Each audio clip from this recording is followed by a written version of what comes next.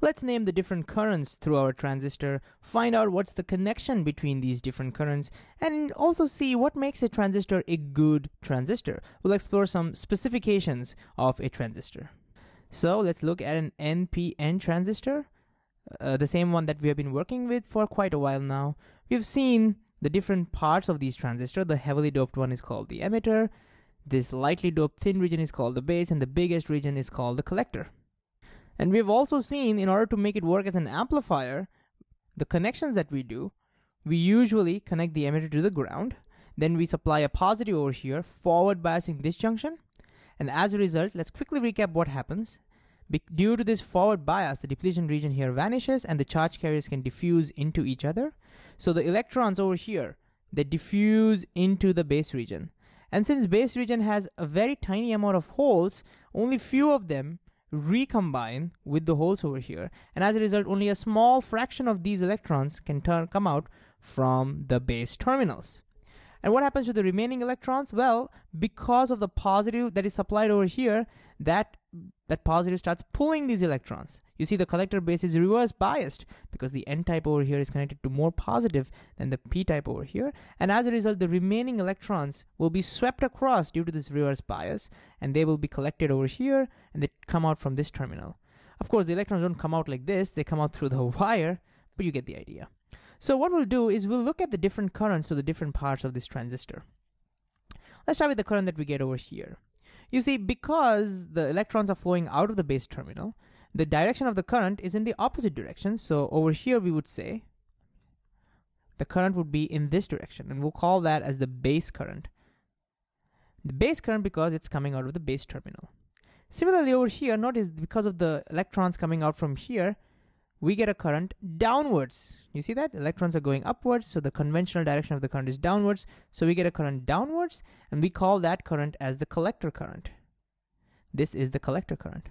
And now if you put some numbers, let's say about five electrons, five electrons came out from here, and let's say about 95 electrons came out from here, from the from this wire, then notice as the five electrons come out over here, they push these electrons because there's a there's a connection over here, there's a circuit over here, and as a result, five electrons get injected into the into the emitter from the external wire.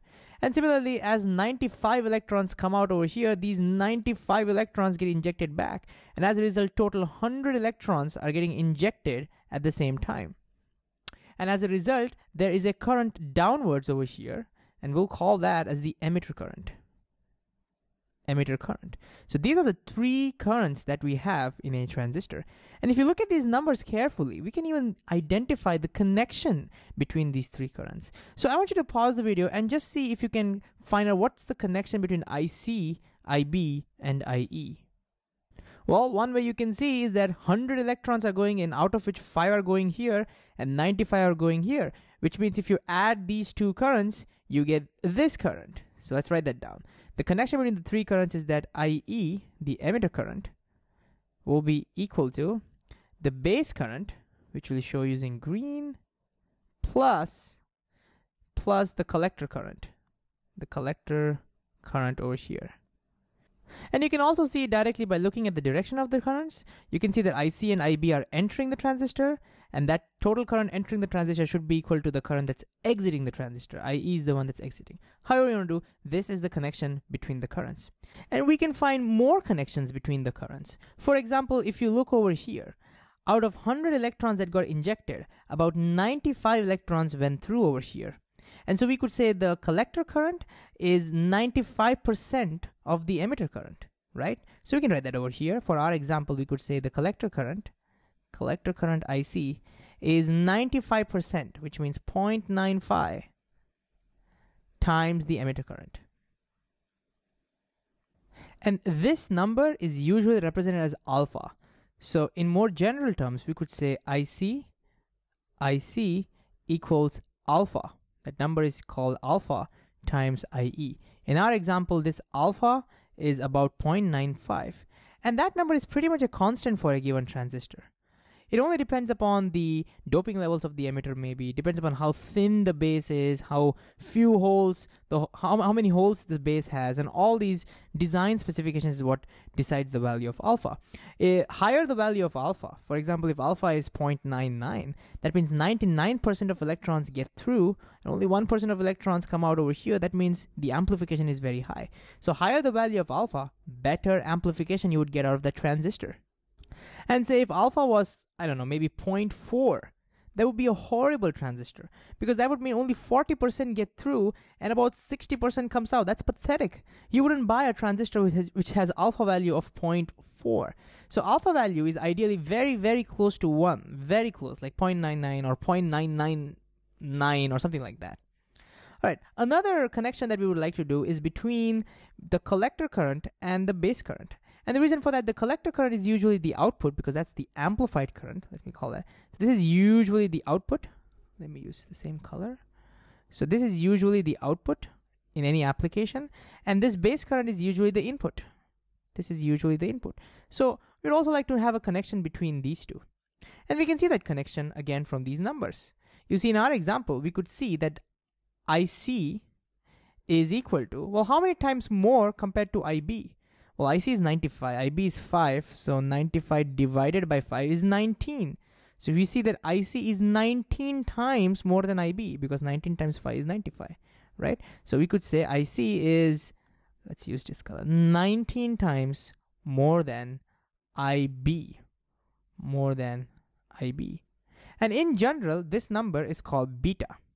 So usually you would see people writing it at IC equals beta beta times IB.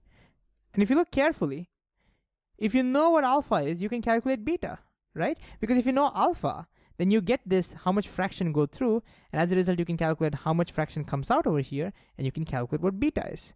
So strictly speaking, you only need to know one of these numbers, and you can calculate the other. And this beta is often called current gain. It's called gain because it's literally telling us how much is the output current gaining compared to the input. In our example, it is 19, but in a practical transistor, that number can go up to 200 or 300. And one last thing we'll do is find the connection between this alpha and beta because we've seen that if you know one, we can find the other. So before I do that, I really encourage you to pause this video and see if you can do it yourself.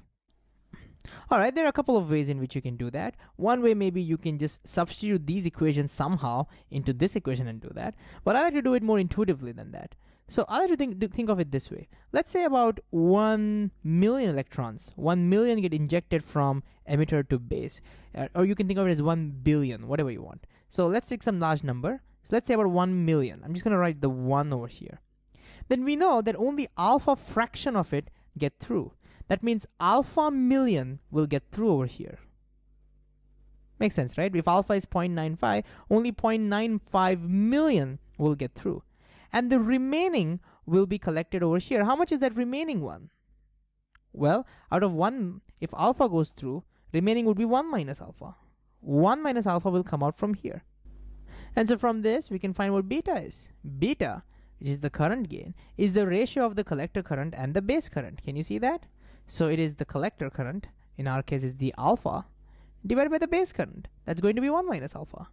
And there we have it. That's the connection between beta and alpha.